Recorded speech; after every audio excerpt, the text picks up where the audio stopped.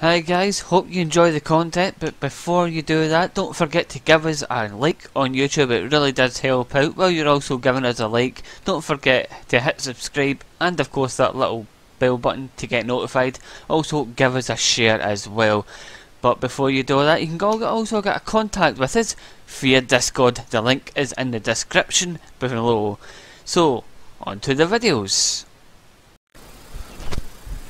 Hi guys, welcome back to Construction Simulator. So, last episode I think we spent an hour basically putting these down, I, do, I, I actually remember.